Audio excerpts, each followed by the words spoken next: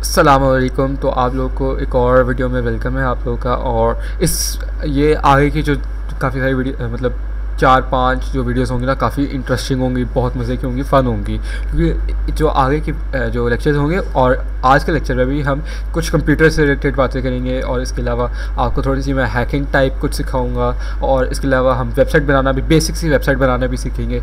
तो आगे के जो काफ़ी सारे लेक्चर्स हैं ना मतलब लेक्चर्स होंगे चार से पाँच लेक्चर्स होंगे काफ़ी इंटरेस्टिंग होने वाले हैं तो ये वीडियोस आपने बिल्कुल भी मिस नहीं करनी और आपने सारी वीडियोस देखनी है ताकि ये आपको अच्छे से समझ में आ, आ सके कि हम कर क्या रहे हैं आगे क्या कर रहे हैं पीछे क्या कर रहे हैं। और ये सारी चीज़ें अगर आप प्रैक्टिकल भी करते हैं तो ये भी आपके लिए बहुत ज़्यादा फ़ायदेमंद रहेगा क्योंकि ये काफ़ी यूज़फुल चीज़ें आजकल और इसको आप यूज़ करके ना पैसे भी मतलब बेसिक से पैसे भी कमा सकते हैं कि आप जो है ना थोड़ा बहुत अपने खर्चे अफोर्ड कर लें इस तरह आप पैसे भी कमा सकते हैं। तो आज हमारे ये जो आगे लेक्चर्स रहे हैं, चार पाँच, इसका पहला लेक्चर है और इस, ये जो पूरे चार चार पाँच लेक्चर्स होंगे, इनका नाम है bug bounty hunting for kids यानी कि छोटे बच्चों के लिए नौ दस साल के बच्चों के लिए और इसको यूज़ करके नौ दस साल तक के बच्चे थोड़े बहुत पैसे बना सकते हैं। तो इसका पहला लेक्चर है तो चलिए हम अपने लेक्चर की तरफ़ पढ़ते हैं। सबसे पहले हम बेसिक समझ लेते हैं कि बग हंटिंग किस चीज़ पर रिलाई करती है, उसकी बेसिक्स क्या है? मतलब ए बी सी समझ लेते हैं बग हंटिंग की। आसान लफ्ज़ों में अगर मैं कहूँ तो।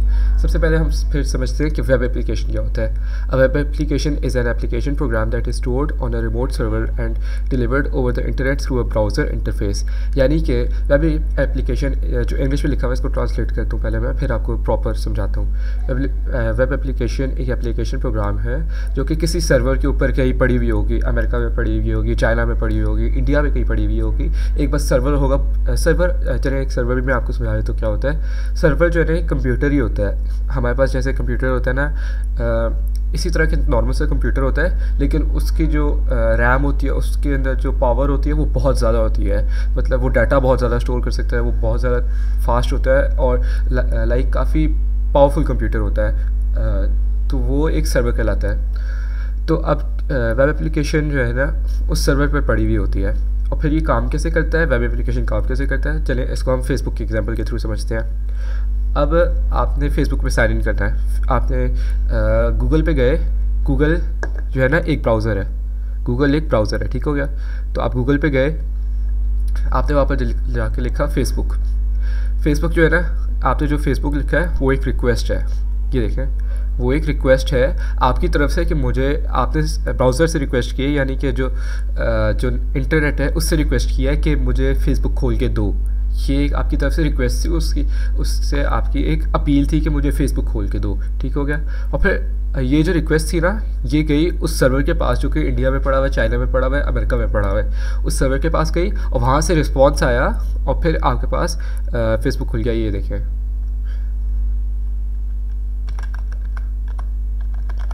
ये देखिए, ये जो फेसबुक लिखा हुआ है ना, ये एक रिक्वेस्ट है। अब यहाँ पर ये जो लिंक आया ना, ये इस रिक्वेस्ट का रिज़ल्ट है। यानी कि मैंने जो रिक्वेस्ट की थी फेसबुक की, उसके रिज़ल्ट में उन्होंने मुझे ये लिंक भेज दिया कि आप ये खोल लो फेसबुक का ये। अब इस पर मैंने क्लिक किया है। ये भी एक रिक्वेस्ट गई है सर्वर की तरफ़। ठीक हो गया?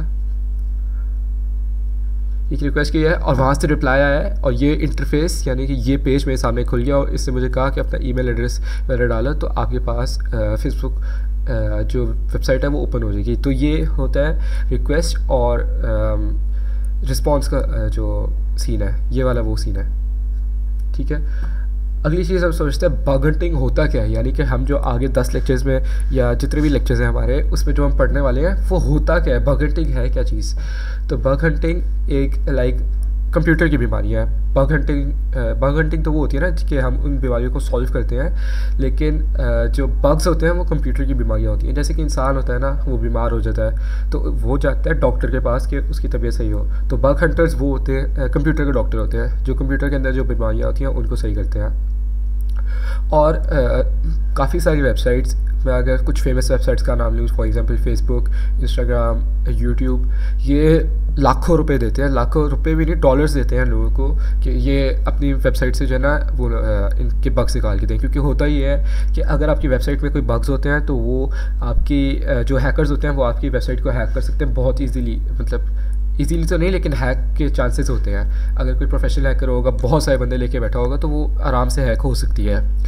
तो इसको कम करने के लिए जो वेबसाइट्स यूट्यूब वगैरह हैं, ये हायर करती हैं बग हंटर्स यानी कि जो डॉक्टर होते हैं कंप्यूटर के, ठीक हो गया?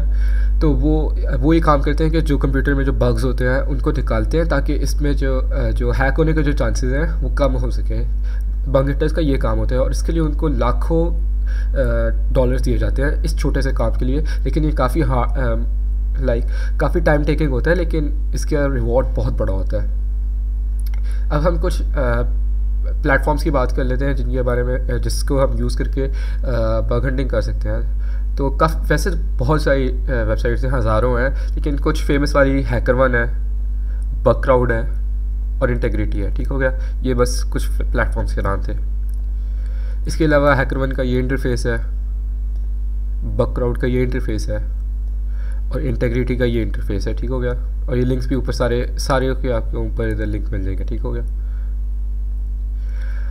अब वलेबिलिटीज़ और बग्स तो जैसा कि मैंने आपको पहले बताया था कि जो वो बग्स होते हैं, वो कंप्यूटर की बीमारी होती है। जिससे इंसान बीमार हो जाता है ना इस तरह कंप्यूटर भी बीमार हो जाता है। उसके अंदर कुछ बग्स आ जाते हैं, जिसकी वजह से उसमें वायरस फैल जाता मतलब वायरस करोना वाला वायरस नहीं, दूसरा वाला कंप्यूटर की ज़बान वाला वायरस वो फैल जाता है और वो कंप्यूटर के हैक होने के चांसेस बढ़ जाते हैं। तो वो होते हैं बग्स ठीक है? कंप्यूटर कंप्यूटर की बीमारियाँ। और जो वलनबिलिटीज़ होती हैं ना, वो होती हैं एप्लीकेशन के अंदर। जैसे कि आपने अगर फॉर एग्ज़ाम्पल कोई, मैं कहता हूँ, आपने व्हाट्सएप डाउनलोड किया है ना कंप्यूटर पे तो उसके अंदर कुछ वलनबिलिटीज़ होंगी जिसको हैकर यूज़ कर सकते हैं। अब वलनबिलिटीज़ और बग्स में ये फ़र्क है कि वलनबिलिटीज़ जो है ना, वो ऐप के अंदर होती हैं कंप्यूटर के अंदर नहीं होती। जो विंडोज़ है ना आपके अंदर, उसके अंदर वलनबिलिटी नहीं होगी। आपकी व्हाट्सएप के अंदर वलनबिलिटी होगी फेसबुक के हो, अंदर होगी इंस्टाग्राम के अंदर वलनबिलिटी होगी उसके पी विंडो के अंदर नहीं होगी। लेकिन जो बग्स हैं वो दोनों में होते हैं। विंडोज़ में भी हो सकते हैं और जो एप्स हैं उनमें भी हो सकते हैं। ठीक हो गया। मिस कन्फिग्रेशन एक और टर्म कंप्यूटर की ज़बान में। तो मिस कन्फिग्रेशन जो है ना, वो आपकी साइड से होती हैं। फॉर एग्ज़ाम्पल इसको समझाने के लिए आसान ज़बान में, आपने अपना फ़ोन लिया है, बहुत आपने आला सा फ़ोन लिया है आईफोन लिया है आईफोन चौदह आपने लिया है, ठीक हो गया? अभी रिलीज़ नहीं हुआ, लेकिन आपने ले लिया है, ठीक है? तो आपने वो लिया है और उसके बाद आपने उस पर पासवर्ड नहीं लगाया। अब किस, आपका फ़ोन जो है ना चलते चलते कहीं गिर गया। फॉर एग्ज़ाम्पल आप मार्केट में चल रहे हैं, किसी सड़क पर गिर गया, दुकान में गिर गया, कहीं बस गिर गया फ़ोन वो किसी बंदे ने उठा लिया, उसके अंदर अब आपकी पिक्चर्स हैं उसके अंदर आपका पर्सनल डाटा है, उसके अंदर आपके पता नहीं बहुत सारी चीज़ें होती हैं, ठीक है, वो सारी आपने उसके अंदर स्टोर की हुई अब वो सारा डाटा चला जाएगा क्योंकि वो, उसमें मिस कन्फिग्रेशन थी। अब मिस कन्फिग्रेशन क्या थी? वो जो आपने पासवर्ड नहीं डाला था ना, वो मिस कन्फिग्रेशन थी। तो मिस कन्फिग्रेशन यूज़र के एंड से होती है, यानी कि हमारे एंड से होती है कि हमने पासवर्ड क्यों नहीं डाला? हमारी गलती है ये। हमने पासवर्ड नहीं डाला तो इससे वो जो जिस बंदे ने चोरी किया है या उठाया है फ़ोन वो आराम से उसने उसको एक्सेस कर लिया। तो ये हमारी गलती है मिस कन्फिग्रेशन हमारी एंड से होती है। तो वनबिलिटीज़ और मिस कन्फिग्रेशन अच्छा वनबिलिटीज़ मैंने आपको पहले बता दिया है एप्लीकेशन के अंदर होती हैं और मिस मिसकन्फिग्रेशन हमारी साइड पे होती हैं, ठीक हो गया? जो ऐप्स होती हैं, उसमें कोई मसला नहीं होता। मसला हमारे एंड पे होता है कि हमने पासवर्ड क्यों नहीं डाला है? ये मसला होता है, ठीक हो गया? सॉरी ये कुछ वेब एप्लीकेशन की वनबिलिटीज़ हैं S injection cross side scripting XML external entity directory traversal file inclusion command injection और फ़ाइल अपलोड अब ये सारे मैं आपको इनमें से कुछ समझाऊँगा, अभी मैं आपको ना कि कौन से क्या होता है, ठीक हो गया? तो अब कुछ मिसकन्फिग्रेशन क्या हो सकती हैं? मैं आपको ये दोबारा मिसकन्फिग्रेशन से लेके जाता हूँ कि हो क्या सकती हैं।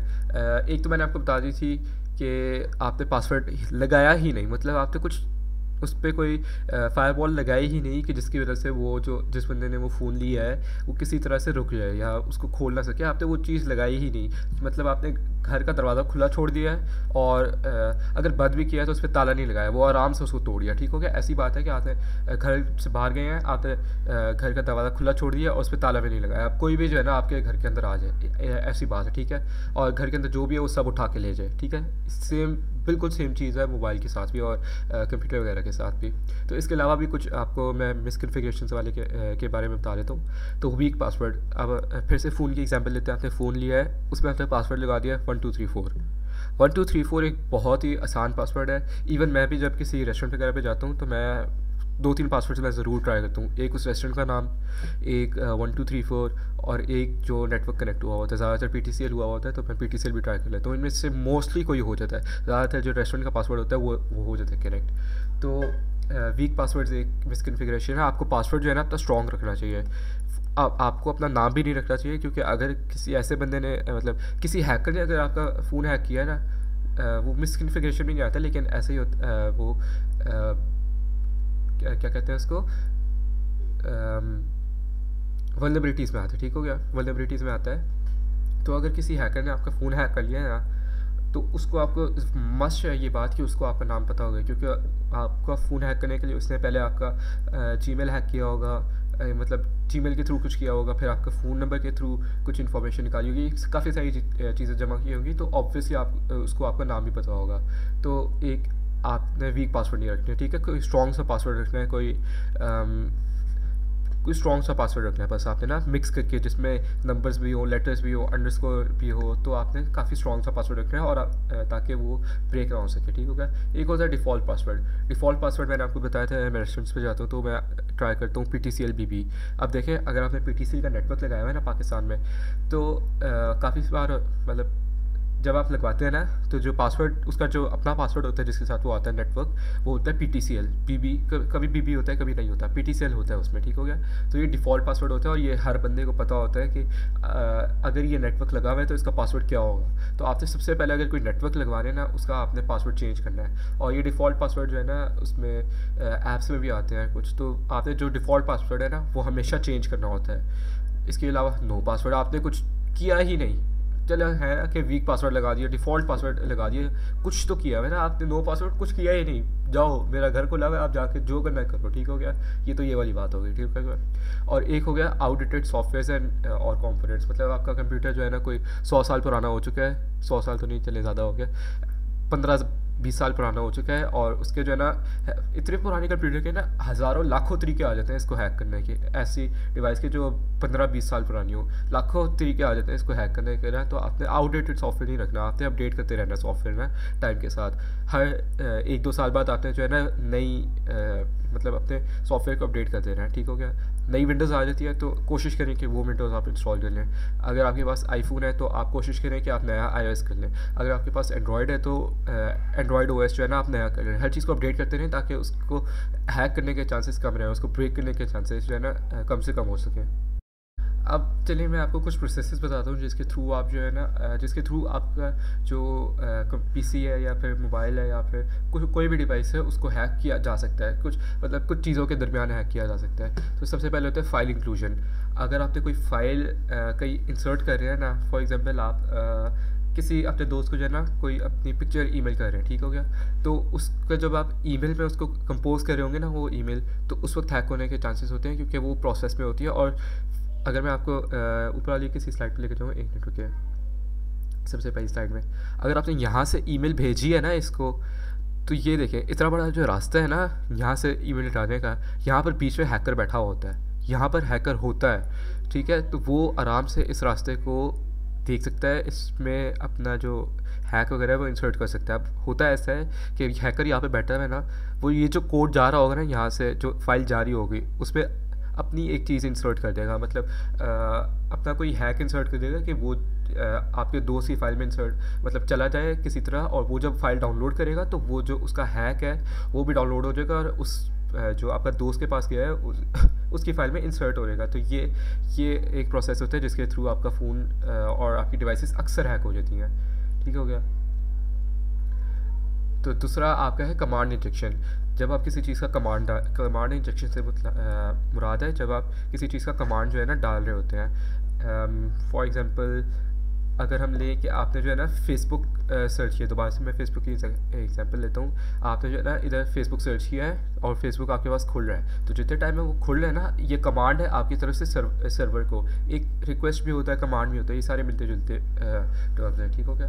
तो आपने ये जो फेसबुक के जो कमांड था ना आपने सर्वर की तरफ़ भेजा है, इस पर बीच में इसमें भी बीच में कहीं हैकर बैठा होगा, वो इस कमांड को करप्ट कर सकता है, ठीक हो गया?